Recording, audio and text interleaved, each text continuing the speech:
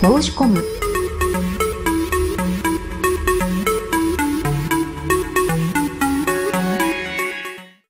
川上舞子結婚願望を明かす罰がついて長いのでそろそろ落ち着きたい。女優の川上舞子52日13日放送のフジテレビ系有吉弘行の誰ともびっくり